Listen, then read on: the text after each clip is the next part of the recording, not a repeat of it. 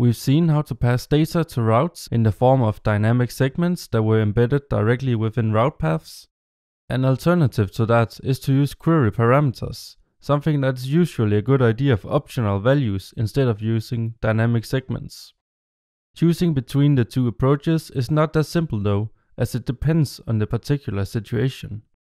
I want to add a new feature to our e-commerce application, the ability to offer a percentage discount. By passing a discount query parameter, being a number between 1 and 100, that discount should be applied to the product's price.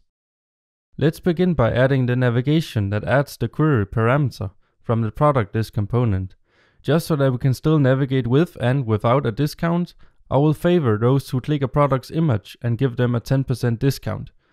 So let's update the navigation within the clicked image method to add a query parameter.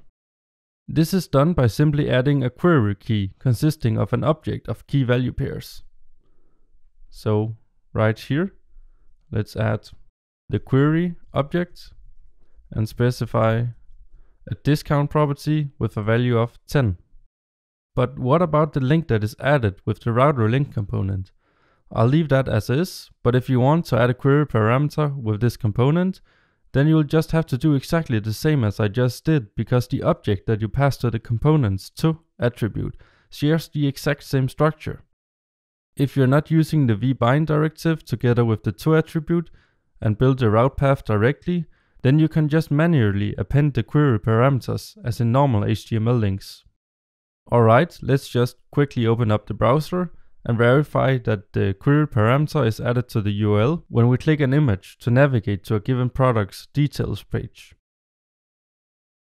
And if you look at the browser's address bar, you will see the discount query parameter being added. We're not actually doing anything with this query parameter yet, so let's get started on that within the view product component. First, I will add a discount data property, which will hold the amount of discount that should be applied to the price. So let's add the discount property here with an initial value of 0. Then I will implement a method for calculating the discount based on the percentage that is passed as an argument. I will then make use of this method a couple of times in a moment. So let's move down to the methods object and add a get discount method taking the price of the product or rather the original price and a discount percentage. If the percentage is not set, I'll just return zero and otherwise I can calculate the discount right here. So original price times percentage divided by 100. Then within the created lifecycle hook, I'll use this method for setting the discount data property if there is a query parameter. So for that, I need to access the query parameter, which I can do by using the dollar sign route object that we saw earlier. This object has a query property containing an object consisting of key value pairs. So we can check if this object has a discount key and set the discount accordingly if this is the case. So if type of this dot dollar sign route dot query dot discount. And this should look familiar because this is the same structure that we added within the product list component a moment ago.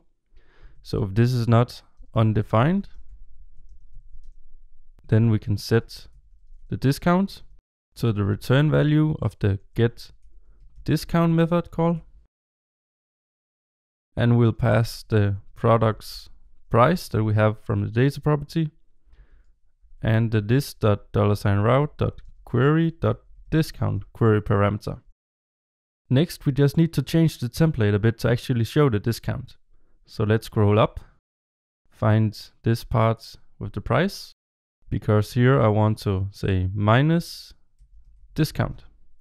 And if no discount is available, this number will just be zero. So the calculation will still work in this case but I also want to show how much we're actually saving. So I'll add a span element with a v-if directive, checking if the discount, whoops, this count is greater than zero, because in that case I want to display how much we're saving. So save, and then some string interpolation, outputting discount with the currency filter. Alright, time to see if that works. So let's go back to the browser, refresh the page and click an image. So everything looks good and a 10% discount has been applied based on a query parameter. Let's try to click one of the related products and make sure that everything still works when there's no discount query parameter available. Wait a minute, that doesn't look quite right. The discount is still applied even though there is no longer any discount query parameter in the URL. This is because we are retrieving the discount from the query parameter initially within the created lifecycle hook and then setting the discount data property accordingly but we're not reacting to when the query parameter changes or disappears. This is essentially the same problem as I showed you earlier with reacting to the product ID changes, so we need to do pretty much the same thing for the query parameter. You could add a watcher for the route object, but I want to be more specific than that and define the path of the property that I want to watch. Perhaps you remember that we did this when adding watchers in the section where we dive deeper into the Vue instance. So back to the code. And we'll still be doing some logic within the created lifecycle hook because at the top of this hook, I want to add a watcher using the dollar sign watch method. The path to watch will be the dollar sign route object dot query dot discount.